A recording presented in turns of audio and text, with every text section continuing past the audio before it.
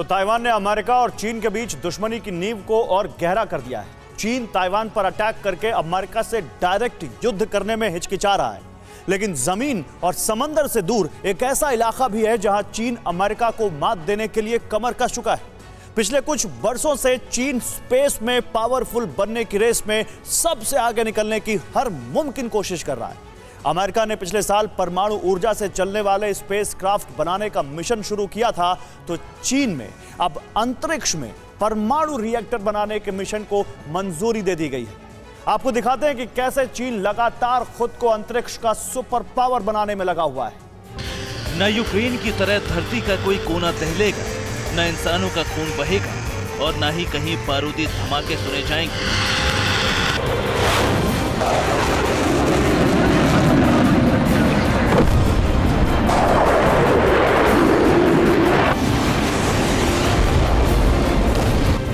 का काफिला निकलेगा और न ही फाइटर विमान।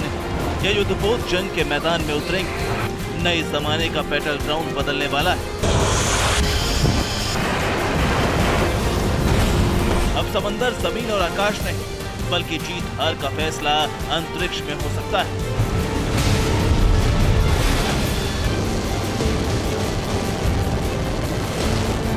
तैयारी तो बहुत पहले शुरू हो चुकी है। अंतरिक्ष सेना और सैटेलाइट्स को तबाह करने वाले हथियार तैयार हो चुके हैं अंतरिक्ष में अब दुनिया की महाशक्तियाँ एक दूसरे को शक की निगाह से देखने लगी धरती की महाशक्तियाँ अब अंतरिक्ष में सुपर पावर बनने की तैयारी कर रही। पूरी धरती को जलाकर राग करने की ताकत रखने वाले देशों की महत्वाकांक्षा अब अंतरिक्ष में राज करने की। हाईटेक हथियारों से लैस देशों ने अब अंतरिक्ष के लिए घातक हथियार बनाना शुरू कर दिया है अंतरिक्ष में एक दूसरे से आगे निकलने और एक दूसरे को शिकस्त देने की तैयारियों में दुनिया के तीन देश इस वक्त सबसे आगे पहला नाम अमेरिका का है, दूसरा रूस है और तीसरा चीन। लेकिन रेस में तीसरे नंबर पर मौजूद चीन की रफ्तार नहीं थामेगी तो चीन सबसे आगे निकल सकता है। एक रिपोर्ट के मुताबिक, अगर चीन को रोकने के लिए ज़रूरी कदम नहीं उठाएगा तो ड्रैगन 2032 तक अंतरिक्ष में सुपर पावर बन जाएगा। अब खुलासा हुआ है कि चीन अंतरिक्ष में न्यूक्लियर पावर प्लांट बनाने की तैयारी में है।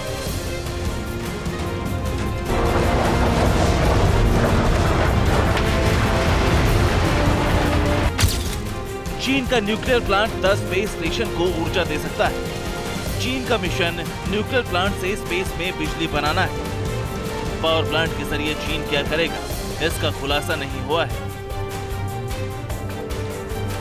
पिछले साल अमेरिका ने परमाणु ऊर्जा से चलने वाले अंतरिक्ष यान को बनाने का ऐलान किया था। माना जा रहा है कि चीन ने भी इसीलिए स्पेस में परमाणु रिएक्टर बनाने का मिशन तैयार किया है। रिपोर्ट के मुताबिक नासा के एक्सपर्ट्स की डिमांड पर अमेरिका ने न्यूक्लियर एनर्जी से चलने वाले स्पेसक्राफ्ट को बनाने का काम शुरू किया था।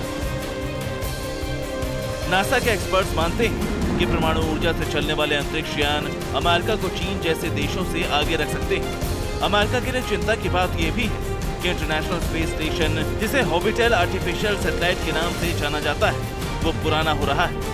वॉशिंगटन पोस्ट की एक रिपोर्ट के मुताबिक, साल 2030 में ये रिटायर हो जाएगा। इसके रिटायर होने के बाद, अंतरिक्ष में सिर्फ़ चीन का स्पेस स्टेशन होगा। यानी हो सकता है, आने वाले वक्त में बाकी देश चीन पर निर्भर होंगे।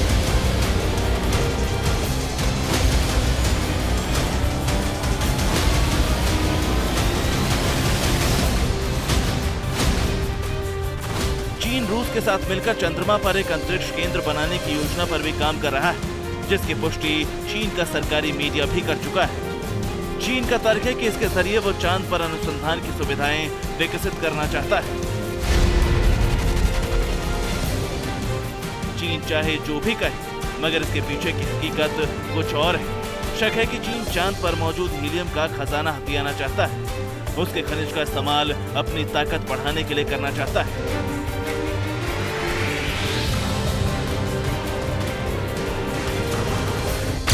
चंद्रमा में हीलियम थ्री का बहुत बड़ा खजाना है। हीलियम परमाणु ऊर्जा तैयार करने में उपयोग होता है। चाँद पर अंतरिक्ष केंद्र बनाकर चीन चाँद के हीलियम का इस्तेमाल कर सकेगा। समझ लीजिए, जिनपिंग के विस्तारवादी सोच अब सिर्फ़ पहाड़, समंदर और ज़मीन तक सीमित नहीं है। दुनिया पर कब्जे की सनक में जिनपिंग के सर पर अंतरिक्ष में बादशाहत कायम करने का फितूर सवार है। ड्रैगन सिर्फ़ ताकत नहीं बढ़ा रहा बल्कि दुश्मन को ठिकाने लगाने और कमज़ोर करने की साजिश भी रच रहा है। अपना स्पेस स्टेशन बनाने वाला चीन अब अंतरिक्ष में बड़े युद्ध की तैयारी कर रहा है। चीन ने अब साइलेंट सैटेलाइट किलर तैयार किया है। इसे साइलेंट किलर इसलिए कहा जा रहा है, क्योंकि चीन का यह हथियार न तो मिसाइल है, न ही लेजर चीन के साइलेंट किलर को पकड़ना बेहद मुश्किल है। ड्रैगन का हथियार सैटेलाइट का एग्जॉस्ट नोजल जाम करता है। एग्जॉस्ट नोजल जाम होने की वजह से सैटेलाइट फट जाता है।